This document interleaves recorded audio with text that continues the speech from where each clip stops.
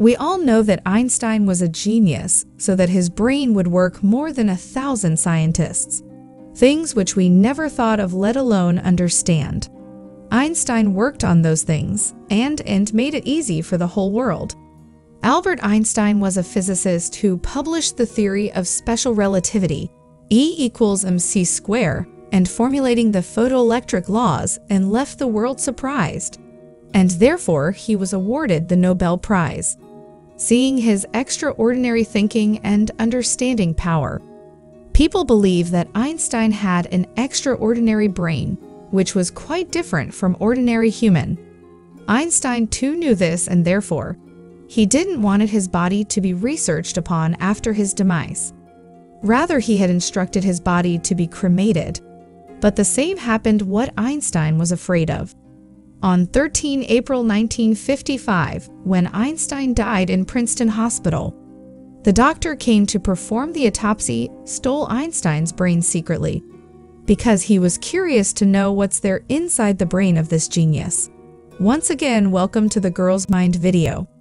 The doctor who stole Einstein's brain was Dr. Thomas Harvey, who was more interested in studying this brain than facing the consequences. When the Princeton Hospital came to know about this incident, they fired him. But Dr. Harvey was successful in pursuing Hans Albert to give him permission to research upon his father's brain and let the world know about it. From that day, a long journey started for that brain. Dr. Harvey was a pathologist who knew only about postmortem, and that's why he believed that he would be able to research this genius's brain.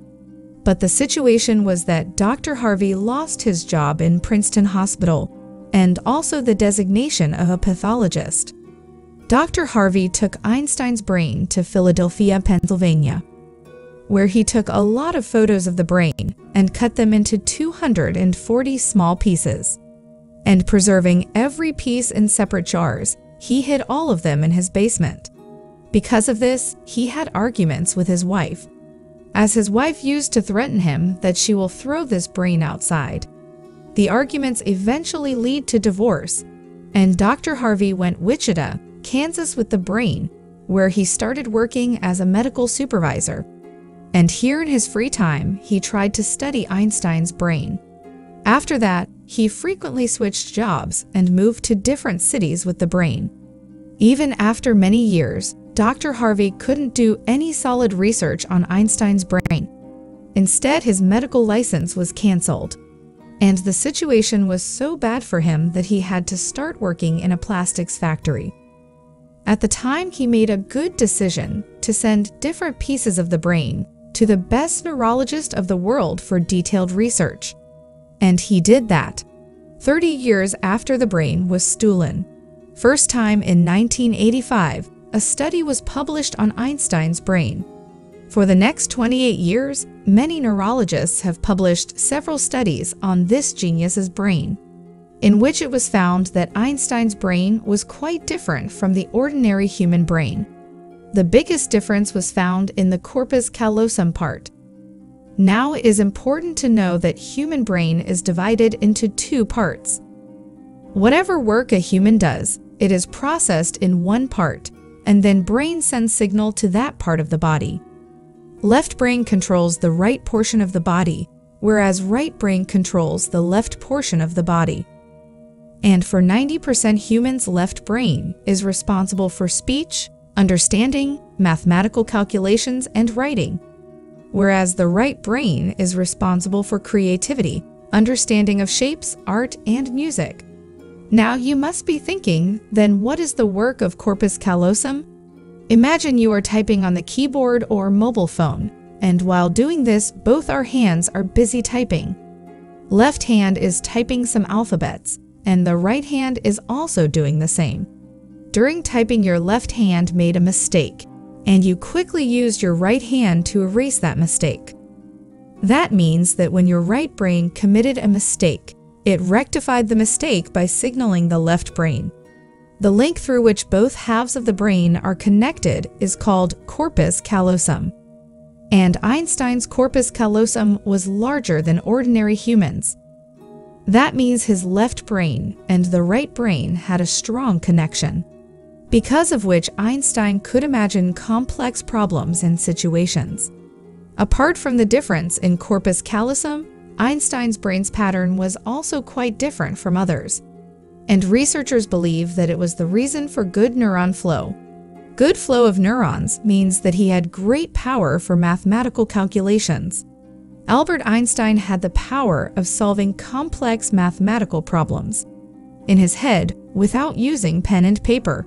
According to a research paper, another reason for having a high number of neurons was that when Einstein's brain was weighted, it was 1230 grams, whereas it is 1400 grams for normal human beings. Researchers believe that his brain's lining was quite thin, because of which it contains more neurons. But the biggest question was if Einstein was born with such a special brain, or there were changes afterwards. After researching it was found that when Einstein was born, he started speaking after the age of five, whereas other children start speaking at the age of two or three. Even after he started speaking, he didn't like to speak much and remained lost in his own thoughts. He had less memorizing power. And not only that, he find it difficult to memorize simple multiplication table. He was master in processing maths and number in logical ways, rather memorizing them. In his school life, although he failed in other subjects, but he excelled in mathematics and science. When Albert Einstein was 12 years old, a family teacher left his geometry book in Einstein's house. Surprisingly, Einstein read that book in one day and cleared his geometric concepts. Not only that he became master of integral and differential calculus at the age of 14, his grip on maths and science was so strong that professors used to become nervous when he used to raise his hands for asking question. Because often Einstein's questions were difficult for even teachers to understand. From a very young age, he wanted to encapsulate the laws of the universe in a small equation. And this became his life's mission. At the age of 26, Einstein published four research papers and made the world surprised. And therefore, he was given PhD degree and awarded Nobel Prize for playing outstanding role for humanity. Without Einstein science is incomplete. Many doctors and scientists came to the conclusion that Einstein's brain became special after his birth. The biggest reason behind it was when he couldn't find an answer to his questions. He tried to find answers with the help of his brain. Doing so from a young age specially developed his brain Today, Einstein's brain is kept in America's The Mutter Museum, which are preserved with great care in microscopic slides. Hope you will like and share this The Girl's Mind video. My heartfelt appreciation for your loving comments.